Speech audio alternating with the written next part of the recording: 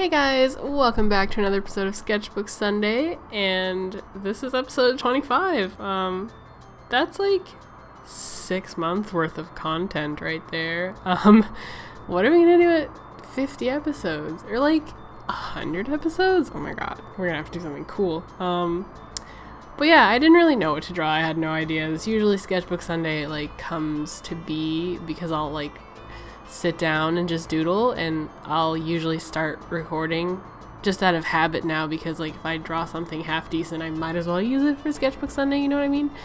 So I didn't I wanted to draw but like I really didn't know what to draw and I was like kind of art blocked so I just went and like randomly generated some Pokemon.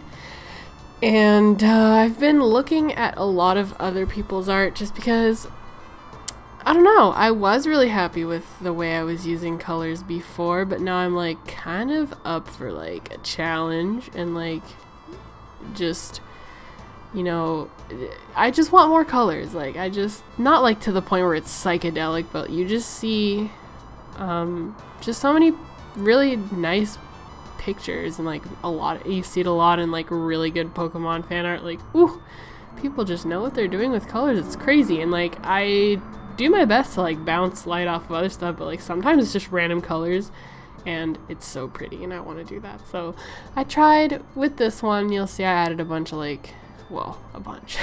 I'm, pretty, I'm pretty mild compared to these people, but I added like a couple different like colors and uh, I like how it turned out. I'm to keep playing with it. Um, I did have a lot of fun with it. I'm a little upset because I don't know if you can see, but I drew this super tiny. I was like zoomed in or something. I don't know, man, but I should have drawn this bigger because it's it's. An, I'm kind of proud of it, and it would have been nice to have it be a little bigger because it's probably gonna look really ratchet in the uh, end screen there. I'm probably gonna have to do some shimmying around and editing.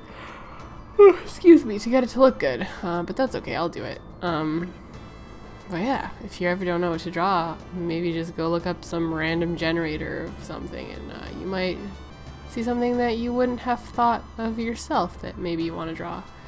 Uh, but I'm just going to end the voiceover here and let you guys enjoy the music, and I'll see you guys uh, Wednesday.